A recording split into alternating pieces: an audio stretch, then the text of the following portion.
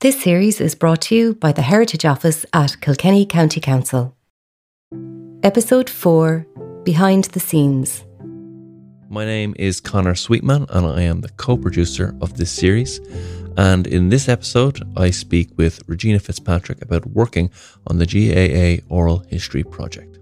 So the GAA Oral History Project, it was commissioned by the GAA as part of a series of initiatives to celebrate 125 years of the GAA, which took place in 2009. Essentially, the premise was that the GAA is, is a grassroots organisation, that the history of the GAA is a people's history. And so they felt that in an organisation of volunteers, that the, the memories of ordinary people and supporters should be recorded alongside those, you know, inter-county players and senior administrators so that it would be right across the spectrum of involvement in the GAA. So, this was a, a large scale, well funded public history project. And so, I suppose the challenge really was coming up with a design that could record long form oral history interviews of archival quality using the best methods available with as many people from as many perspectives as possible. So it was really quite a sort of a big brief because we really wanted to get that spread and that um, you know across the board, um, I suppose, account of what the place that the GAA held in people's lives. So the country was divided into 16 counties each between myself and Dr. Arlene Crampsie. And we spent about a month working on the interviews for each county. So we'd visit a county maybe for a week at a time. We'd stay there. We'd often record two or three interviews a day with people on their own or in group settings traveling right across the breadth of a county into rural areas, down lanes, all of that. Um, and then after a week or so, we'd return to the office um, uh, to basically to document what we collected, to catalogue it, to archive it. And that included both the oral history recordings, but also material that we'd collected along the way for the archive, which would, you know, often included old photographs or minute books or scrapbooks or, you know, um, various ephemera relating to the GAA that people were happy to donate to the archive and have made available to the public. I should say that we also recorded interviews with people involved in the GAA overseas as well. So Arlene recorded interviews in the United States. I recorded interviews across Great Britain. Uh, both of us went over to mainland Europe and recorded interviews with people involved in clubs there. So it was really brilliant to get that sort of international experience and that diaspora experience of the GAA as well. There was also a schools element to the project, and that was managed by Anne Marie Smith and then by Ben Shorten. Um, and this involved engaging school children um, across the country in recording memories of older relatives and friends. Um, and so that was brilliant that you know schools were able to participate in this and what was collected there is also available in the archive today. And I suppose really the end result was a really large public history archive. It ended up being one of the largest oral history collections of any sports organisation in the world. And it's the complete collection is available now on gaa.ie. move on and start thinking about the process, like when you're actually going out to interview people, and maybe we'll just focus on one county. So tell me about the Kilkenny interviews. You know, what was it like on the ground when you were doing those, you know, three interviews a day? Yeah, I suppose Kilkenny was always going to be slightly different because I'm from here and I suppose I was more familiar. I was very familiar with the county.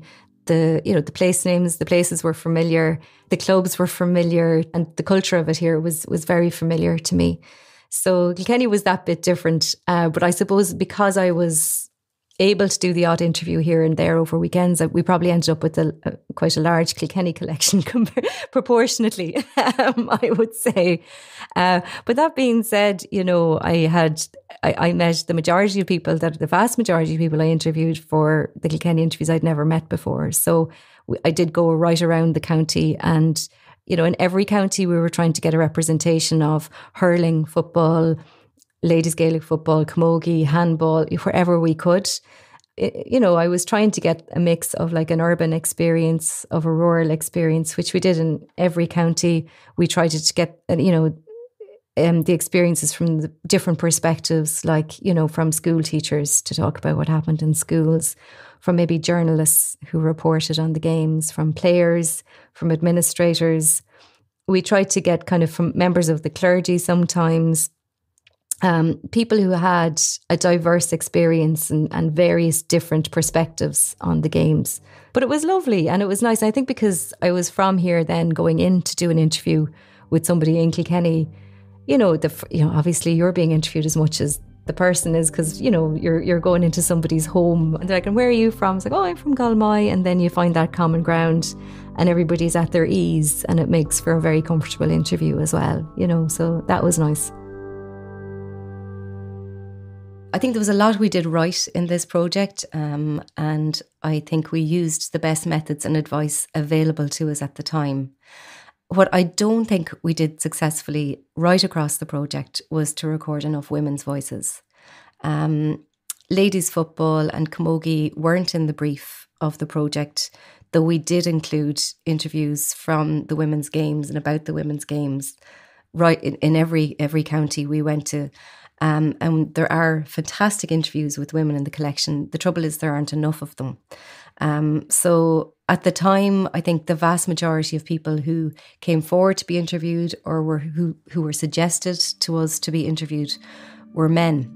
Um, and so I think if if we were to do the project again, I think we'd work harder to generate a better balance in the collection of mem- of men's and, and women's voices.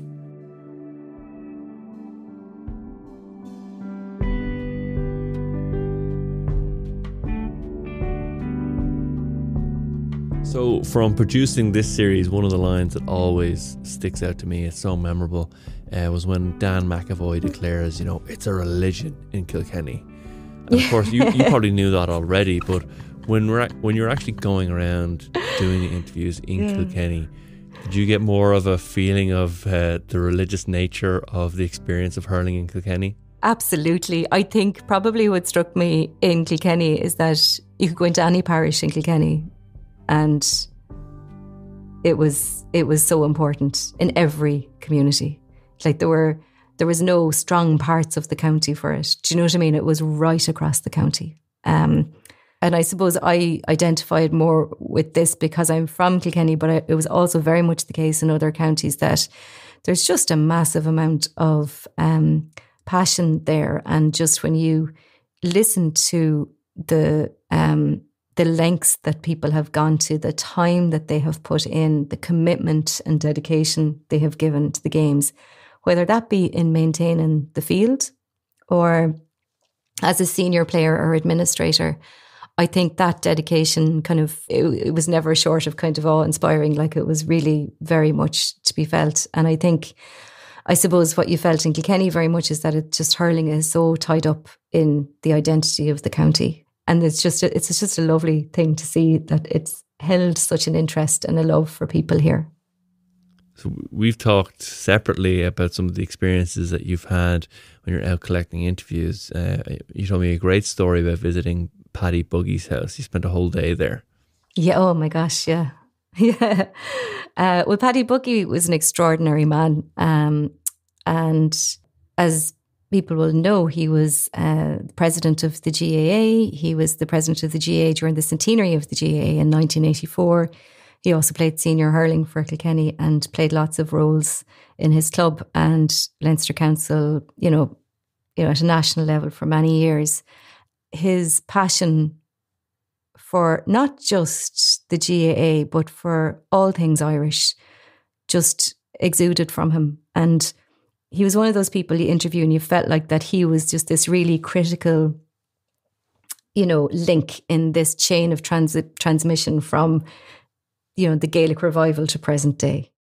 And there was a fire lit in front of us that was topped up you know very frequently. There was a roaring fire for the day and his lovely wife peggy who um, just could not have shown me more hospitality. And you could almost set your clock every hour. She would come in with another tray, and it was a tray of sandwiches and tea. It was uh, fruit cake and tea. It was buns. It was biscuits. It was tart. And I'd say, you know, Peggy's priority wasn't, you know, maybe she'd heard a lot of Paddy's stories before, you know, and um, you know, and I think her priority on that day was to take care of me, and so you know, he might be in the middle of saying something, and then Peggy would go, "Gee, you're not, you're not drinking your tea. What? Have a sandwich. You're not eating your sandwiches." And at one point, I think Paddy just turned around and said, Would you leave her alone? She's watching her figure.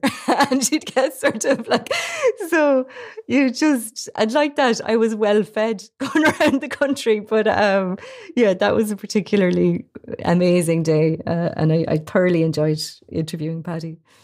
So let's talk about this audio series that we're producing and that people are listening to right now. How did that all come about? So, the Heritage Officer at Kilkenny County Council Dearbhala Ledwidge knew that I had been involved in the GAA Oral History Project and that I had done, um, you know, a lot of the Kilkenny interviews as part of that.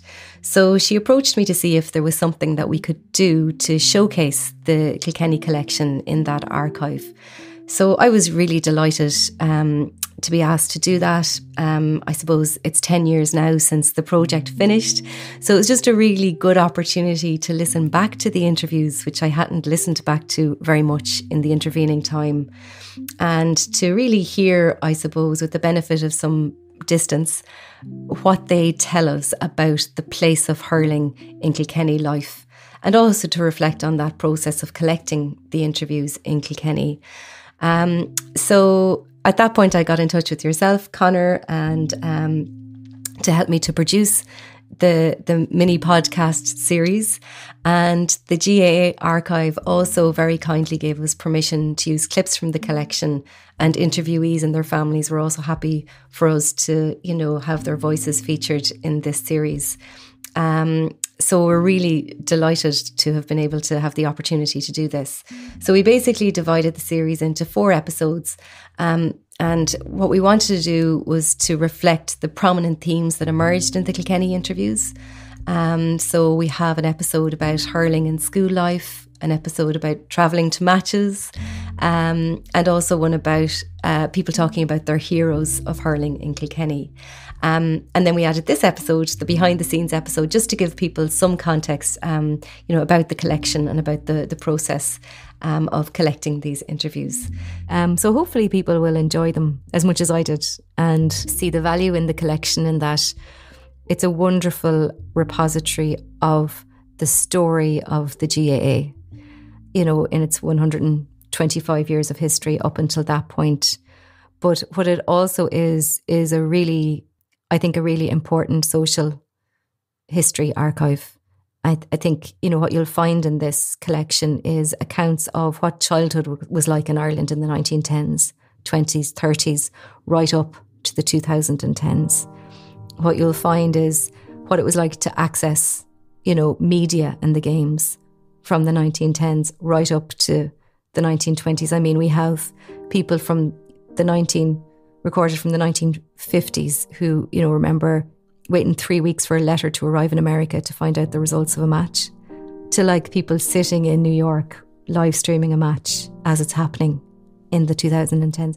So, like, you have it, it shows the gamut everything from cycling hours to a match to people flying over to London to play a match, you know, nowadays. So, it's everything from like a history of working life, of school life, of family life, of community life, of media, of the place of women in Irish society, of the place of, you know, the Catholic Church in Irish society.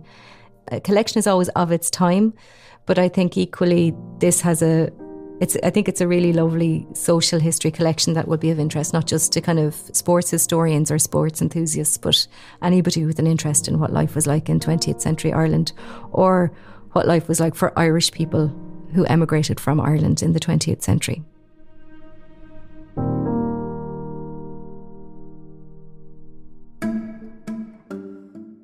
Our thanks to the GAA Museum and Archive for permission to share excerpts from the collection, which is available in full at gaa.ie.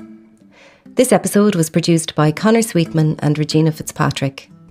This series is brought to you by the Heritage Office at Kilkenny County Council.